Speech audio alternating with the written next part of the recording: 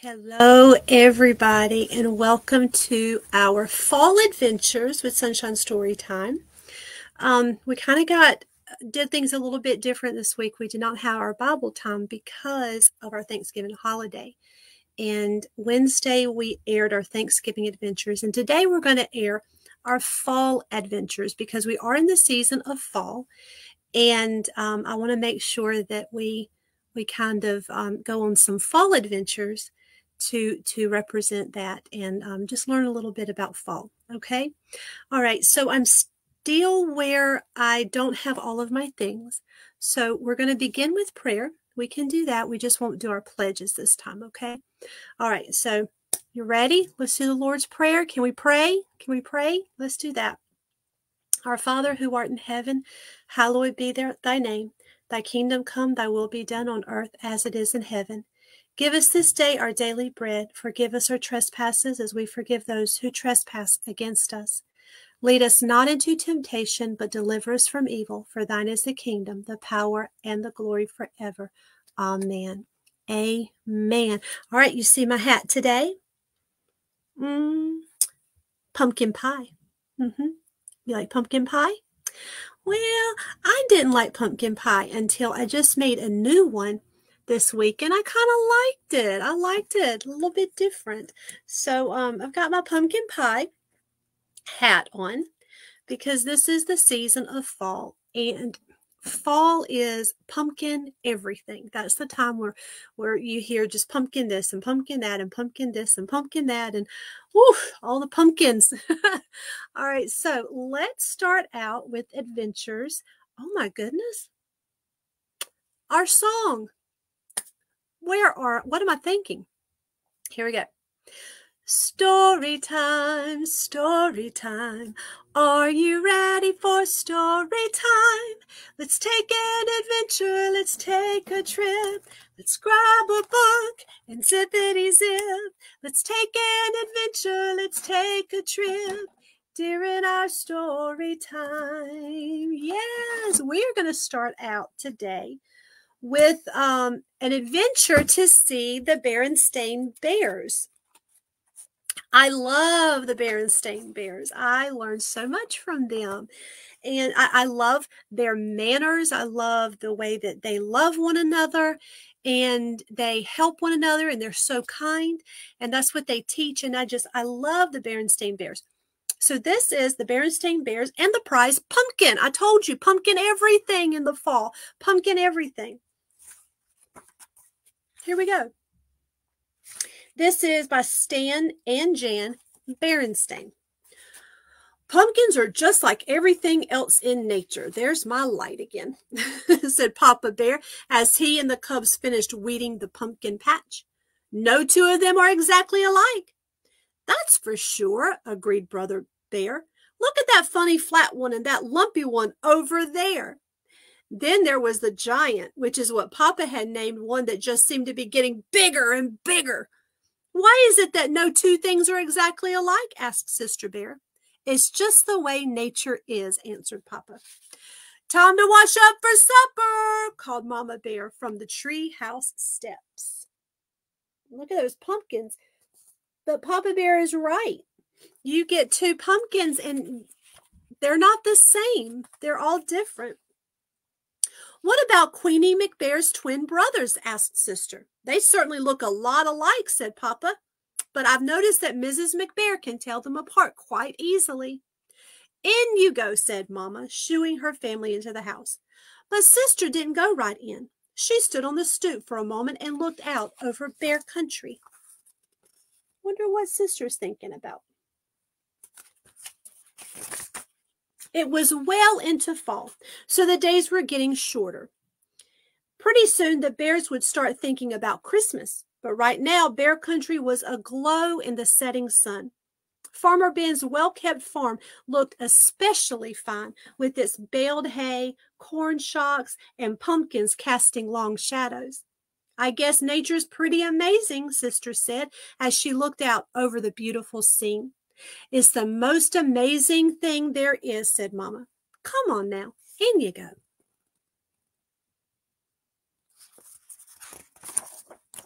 Ooh.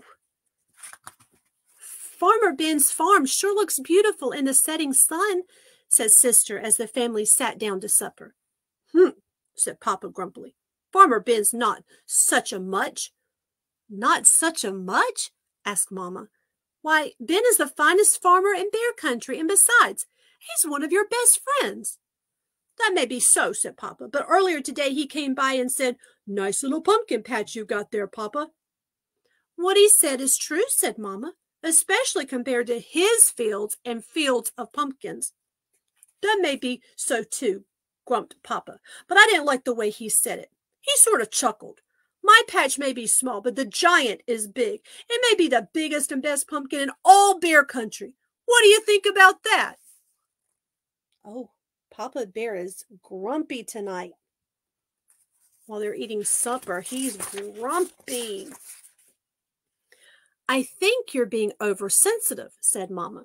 Come, let's clear the table so the cubs can do their homework. Brother and sister sighed as they spread their books out on the table. What's that all about? asked Papa. Oh, I was just thinking, said Brother. Christmas almost two months away. There's nothing to look forward to.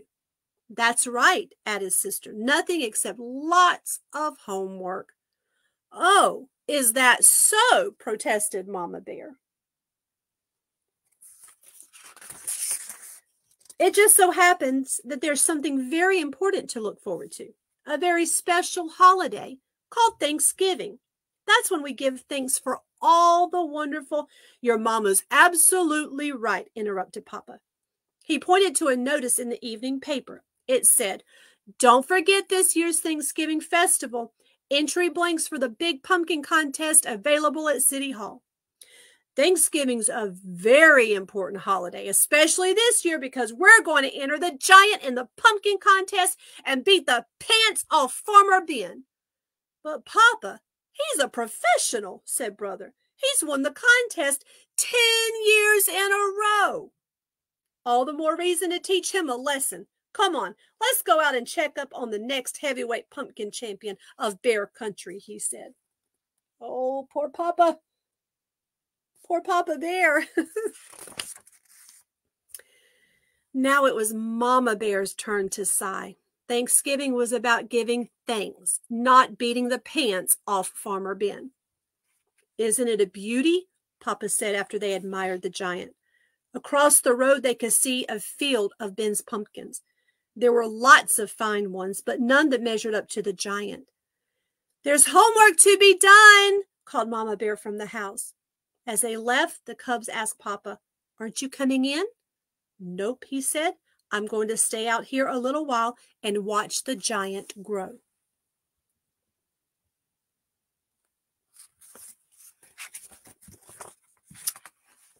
And grow it did. It grew bigger, rounder, and oranger every day. When Papa and the Cubs went to City Hall to get an entry blank for the contest, they saw the place where the winning pumpkin would go on display. We can't lose, said Papa. In their mind's eye, they could see their pumpkin in the place of honor. Mama tried to remind them what Thanksgiving was really about. But every time she did, Papa would interrupt. You'll have to excuse me, my dear, he'd say. It's time to water the giant. He not only watered it on a regular schedule and gave it special plant food, but he also covered it with a blanket at night and tucked it in against the cold. He's really taking care of that pumpkin. One afternoon, the Cubs got off the school bus with something important to tell Papa, but they were stopped in their tracks by what they saw. He was talking to the giant. Mama explained that Papa had bought a book from the swindler, Raffish Ralph, about how to encourage your plants to grow by talking to them. Well, said Brother, I don't suppose it can do any harm. It should could it sure could harm his reputation, said Sister, if anybody saw him talking to a pumpkin. Uh, Papa? Brother said.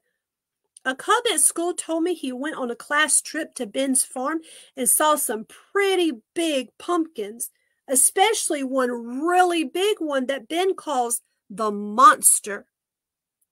We've got to get a look at it, said Papa.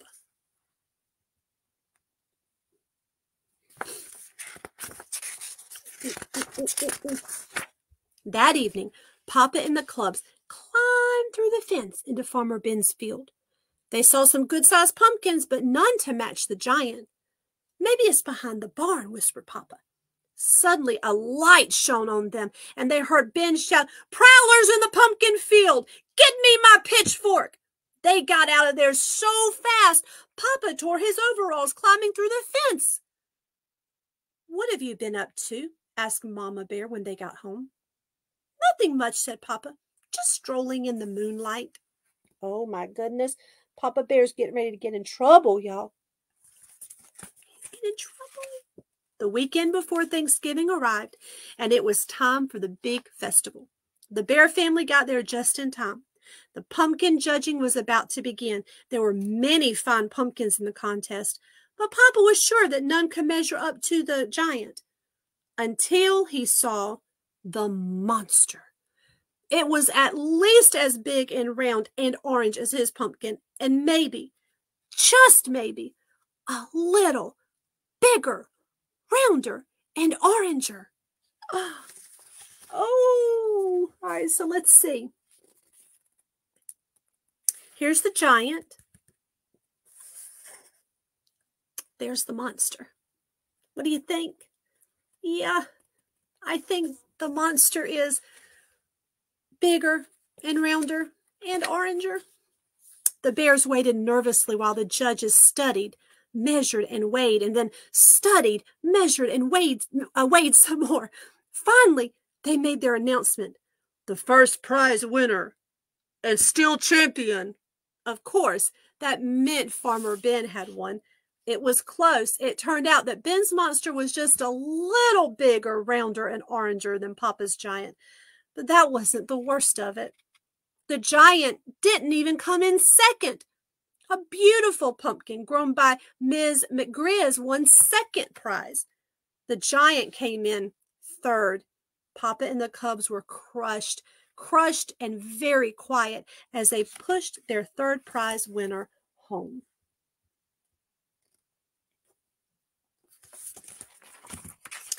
It wasn't until they reached the crest of a hill that overlooked Bear Country that Mama decided to have her say. I know you're disappointed, but third prize is nothing to be ashamed of. Besides, Thanksgiving isn't about contests and prizes. It's about giving thanks. And it seems to me that we have a lot to be thankful for. Perhaps it was Mama's lecture, or maybe it was how beautiful Bear Country looked in the sunset's rosy glow. But whatever the reason, Papa and the cubs began to understand what Mama was talking about.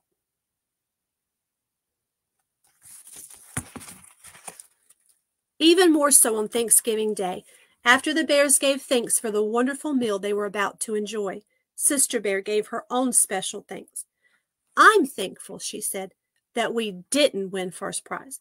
If we had, the giant would be on display in front of City Hall instead of being part of the yummy pies we're going to have for dessert. Pumpkin pies. As the laughter faded and the bears thought about the blessings of family, home, friends, and neighbors, they knew deep in their hearts there was no question about it. Indeed, they did have a great deal to be thankful for. Yesterday was Thanksgiving Day. And like we talked about a couple of days ago, Thanksgiving is about giving thanks for all of the blessings the Lord has given to you your friends, your family, your home, um, your, your parents' job, your health, your toys, your, your food, and your clothes um, there's just so much that we can give the Lord thanks for, and we can be thankful for one another. Um, but we should do that every day of the year, not just on Thanksgiving. All right, here's another another adventure. The pokey little pumpkin. Nope. Let me try that again. the pokey little puppy and the pumpkin patch by Diane Muldrow illustrated by Sue DiCicco. I hope I have that right. If not, I apologize. The Pokey Little Puppy and the Pumpkin Patch. One crisp fall morning, five little puppies went for a walk. Through the meadow they went, over the bridge and across the green grass, one right after the other. Along the way they saw trees full of red, orange, and yellow autumn leaves. See, this is what fall looks like.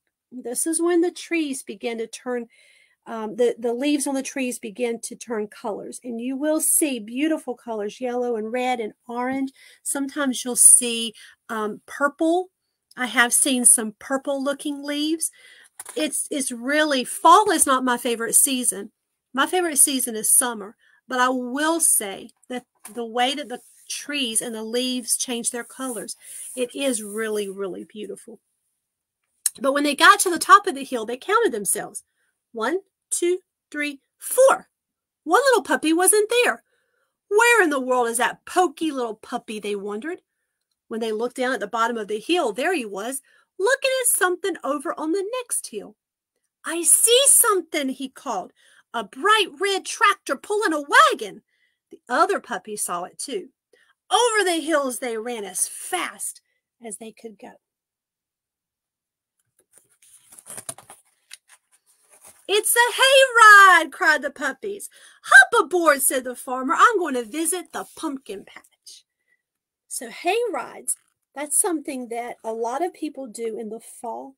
They'll get in the back of a truck or a or a wagon or a trailer full of hay. They'll sit on top and they'll just go riding. It's fun. And a lot of times they'll take you through the pumpkin patch to pick a pumpkin. So the five little puppies jumped into the wagon and went for a ride. What fun!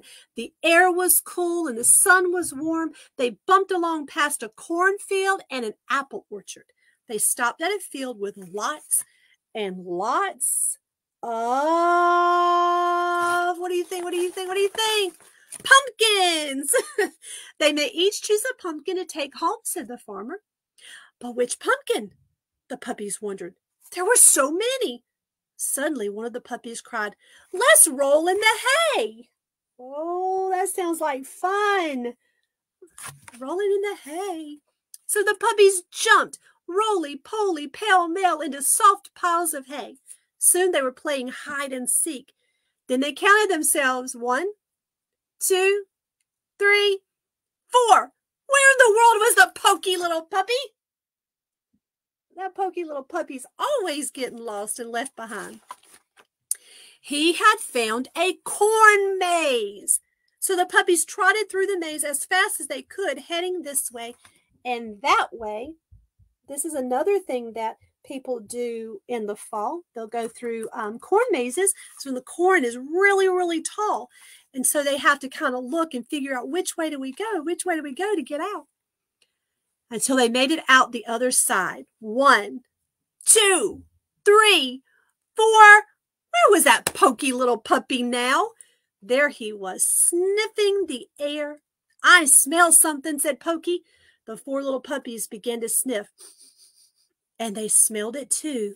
Apple cider, they cried. Oh my goodness, I haven't had apple cider in years in years, but that's really popular in the fall season. It's really warm. It tastes like apple and cinnamon, and it really warms you up on the inside. The puppies soon found apple cider donuts to eat and warm apple cider to drink. They ate as much as they could and then ran back to the pumpkin patch, one right after the other. The puppies picked one, two, three, four, five pumpkins all by themselves. How fun. And home they went as fast as they could go to carve their pumpkins. After dinner, when the sun went down, the puppies enjoyed their glowing jack o' lanterns while they ate pumpkin pie for dessert. There you go again pumpkin pie, pumpkin pie. The puppies were tired, but the pokey little puppy was the last to fall asleep because he couldn't stop thinking about the fun he'd had on their wonderful pumpkin picking autumn day. There he is with his pumpkin. I like to pick pumpkins. Um, I haven't done that in a while, but I like to pick pumpkins. Um, and this this year with my with my students um, is the first time that I had ever done it, but um, we we actually we we didn't carve. I, I don't carve my pumpkins, um, but we dug out the insides and we used that to make the pumpkin pies, and that was a lot of fun. A lot, a lot, a lot of fun. Um, there's so many things that you can do in in the fall that you can't do other times of the year, and and so those were some of the things that are special to the fall um, the hay rides and the corn mazes and apple cider and pumpkins and pumpkin pies and that kind of thing. And that's just really, really fun. Um, uh, fall also brings with it some, a little bit of cold. Okay, it gets a little colder. You may start wearing jackets or, ooh, like the last few days, wearing like heavy coats because it's been really cold. But, um, but, you know, that is part of the fall season too. It's the part that Miss Lynn does not like. I do not like it at all. No, I don't. but um, but every season is important, and every season does have their own fun, unique um, things about it. So those are just a few of of what we can do in the fall. All right, another adventure. Peppa, Peppa Pig, Peppa's Pumpkin Day. Peppa's Pumpkin. This is by Courtney Carbone, illustrated by Zoe Waring. Autumn has arrived. Peppa, George, and their classmates are excited to go pumpkin picking at the farm. Everyone will be able to choose their very own pumpkin, Madame Gazelle says. Hooray! Peppa cheers. I will find the best pumpkin of all. Not if I find it first, said Mandy Mouse. oh, they're going to see the pumpkin patch too. At the farm, there were so many things to see and do. Welcome to the farm, said Mrs. Badger. Next stop, the pumpkin patch. She leads the way to a cart pulled by a shiny red tractor. The children find seats atop big bales of hay. Away we go, Mrs. Badger calls. There we go. They're going to go on a hay ride, just like Pokey Little Puppy did.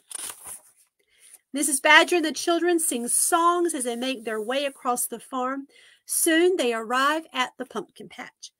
Peppa and Mandy Mouse giggle as they race to find the perfect pumpkin. Crunch, crunch, crunch, red, yellow, and orange leaves crackle under Mandy's wheelchair and Peppa's feet. Yep, that's the thing. When the leaves start falling off the trees, that's the sound that it makes under your feet. Crunch, crunch, crunch. There are as many different types of pumpkins as there are children in the class. Peppa finds a low, wide pumpkin. Mandy Mouse chooses a tall, skinny pumpkin. George looks high and low for a pumpkin shaped like his favorite animal. And again, no two pumpkins look the same. Dinosaur, George exclaims, pointing. Peppa sees he is pointing to a crate of strange looking objects. The one on top looks just like a dinosaur. George smiles proudly at his unique find. What funny pumpkins, Peppa exclaims. Those are actually not pumpkins, but gourds, explains Mrs. Badger. They look like snakes, tusks, horns, and even an old-fashioned mustache. That's right. So I'm going to see, pull up here. So you see right here. Okay, these are gourds. They're not pumpkins, but you will see them in the grocery stores in the fall time, right along with the pumpkins, beside the pumpkins. All the children in the class have chosen a special pumpkin or gourd, but all that searching has made them hungry. Peppa, George, and their classmates share a picnic lunch in a nearby field. While they eat, they talk excitedly about what they found. That looks like fun, a picnic. Soon it's time to return home. Peppa can't wait to get back to her house and decorate her pumpkin. Mummy and Daddy Pig wave hello from the schoolyard. Can we decorate our pumpkin and gourd when we get home? Peppa asks. Of course, Daddy Pig replies. Some people do take their pumpkins and they, they decorate them. Some carve them, some draw on them, some paint them. Back at their house, Peppa draws a spooky face on her pumpkin with a black marker. George puts glitter and googly eyes on his gourd. Now it really looks like a dinosaur. Mummy carefully cuts off the top of Peppa's pumpkin and scoops out the insides. It leaves behind a stringy, squishy pile of mush. This is called pulp, Mummy explains.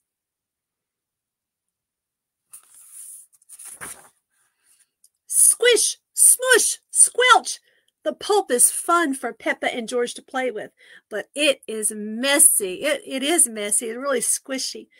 Daddy Pig collects the pumpkin seeds. He arranges them on a baking sheet with a little butter and salt. He will roast them for a special treat. That's another thing that is popular in the fall time, roasting the pumpkin seeds. And we did that too. I'm not quite sure that I liked it, but at least I tried it. Mommy Pig carves the pumpkin and puts a little light inside. Now it's a jack o' lantern, she says, or a Peppa lantern. Let's put it outside so everyone can see. Peppa cheers. Mummy Pig, Peppa, and George set up the pumpkin by their front door. It looks just a little bit spooky as it flickers and glows in the dark. Suddenly, Peppa smells something delicious. The pumpkin seeds are ready, Daddy Pig calls. Peppa and George can't wait to try a new special treat. Munch, munch, munch. Peppa and George help themselves to lots of yummy pumpkin seeds. Autumn is so much fun. Autumn is another word for fall. So we will say that this is the fall season or it's the autumn season. Okay. Woo, goodness. So there were even more fun things in the fall in that book that we can do. Um, so I love it. All right, we're at our last adventure, our last adventure for for today. And this one goes back to being thankful. But you remember what I told you be thankful every day of the year, not just on Thanksgiving, which was yesterday, but every day of the year. This is by Sonali Fry, illustrated by Alessia Girasole, and it's just simply called I Am Thankful. I'm thankful. Are you thankful? Yeah? Yeah. I am thankful. Today we're talking about what we're thankful for. Are you ready? Let's begin. I am thankful for my mama's hugs, for crunchy leaves and ladybugs. I am thankful for my puppy's tricks, my comfy slippers, and my kitty cat's licks.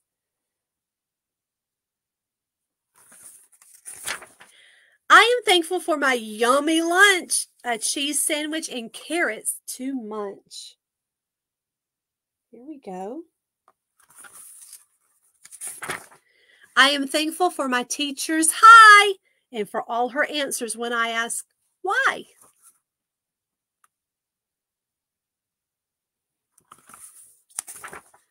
I am thankful for the bees that buzz, the apples we pick, and the dandelion fuzz.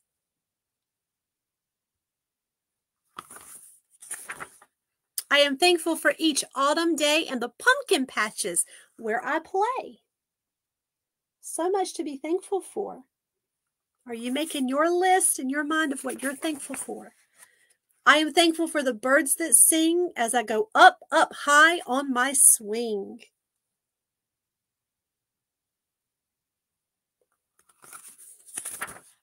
I am thankful for my grandma's pies, her cookies, and her sweet potato fries. Oh my goodness. I might have to go get me a snack. I am thankful for my bedtime huddles, my favorite blanket, and daddy's cuddles.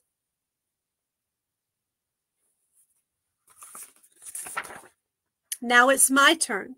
I am thankful for family far and near and for every person I see here.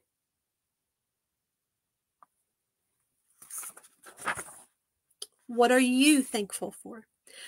I am thankful for you. I'm thankful that you come and watch um, these episodes and you have these adventures with me and that we can laugh and have fun together and we can learn together too. I'm thankful for you. Story time, story time. We're all done with story time.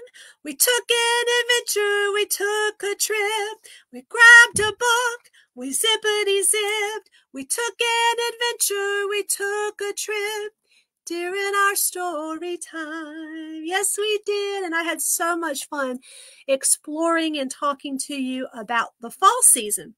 Now, join me back here next Wednesday for our Bible adventures again. And we're going to get back on our regular schedule. All right. All right. Y'all have a wonderful, wonderful, wonderful weekend. Stay thankful. Keep thanking the Lord for all that you have been blessed with. And I'll see you soon. Bye, friends.